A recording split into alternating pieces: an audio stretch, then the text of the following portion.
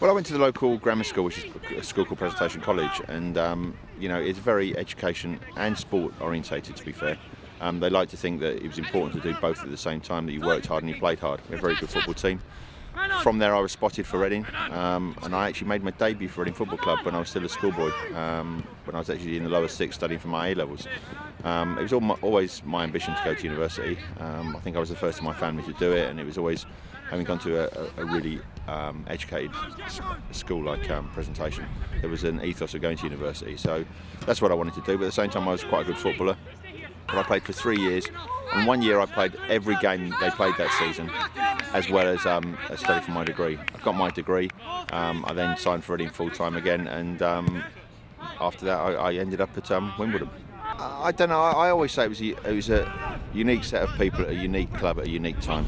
Um, you know, we just all came together, meshed together. We played a style of football that made us outsiders, if you want, to what was played elsewhere. We were doing something different. It wasn't particularly liked by other teams. Um, a bit, a bit like Stoke today, to be fair. Um, and it was us against us against everybody else, us against the world, if you want. And there was a mentality built into the team by Dave Bassett, the manager and we literally did take on the world and, and you know most of the time beat them, um, culminating in the 88 Cup final. Well, we, we, trained on the Friday as normal. Um, we trained in the afternoon actually. Then we were going to stay at the Cannizaro, which is literally two miles. It's the top of the common. We train at the bottom of the common. It's the top of Wimbledon Common. Still there, beautiful hotel. I remember finishing training about three o'clock because we had a later session because obviously um, you know we had time to kill between the evening meal. Um, I came out and I found my tyres had been let down. All four of them been let down. Um, I think by Dennis Wise in the end.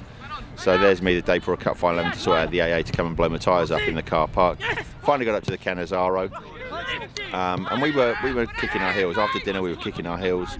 Myself and Dave said, well, you know, we're bored to be fair. You know, what do we do? It's a beautiful, beautiful, beautiful day like today. Sun was out, um, nothing to do, nothing on TV. And we went to the Bobby Gould and said, can we get down to the pub for a drink? And he said, yeah, no worries, here's some money. And he gave us, something 50 quid. I mean, the stories are that we went down and players, but we went down and, you know, had a shandy or had a, a few of us, half a dozen of us went down. They brought the lady out from the from the next door to the pub, and her father had played for the original Wimbledon that had played on the Common. Um, so that that was nice. And the actual pub we were in was where they actually changed to play to play. So it was a nice circle, if you want, from the original foundations of Wimbledon prior to the night before we actually went and, and perhaps gave the club the greatest moment in, in, in its history. Um, so we left there about 10 o'clock, wandered back to the hotel. Um, some slept, some didn't. It was one of those nights, you know, it was a balmy night and, you know, people dreaming about the glory that could be had the following day.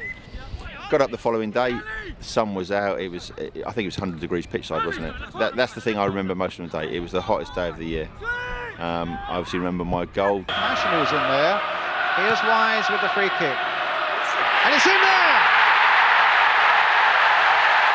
Well, Sanchez has put Wimbledon ahead.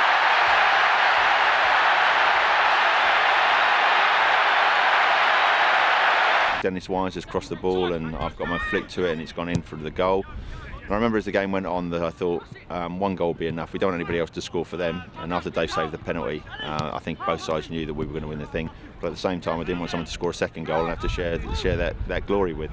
Fortunately, it ended up at 1 0. Um, I remember going up to get the trophy and I remember coming down. And by the time we came down, as you rightly said, there was about 5,000 fans, our fans left in the stadium the other 90,000 Wimbledon uh, Liverpool fans had gone home. Um, they weren't going to see us parade the trophy around. So it was an empty Wembley, but fantastic moments, fantastic time. I just, just talking about the camaraderie. I mean, that was probably the pinnacle of what, what that group of players achieved.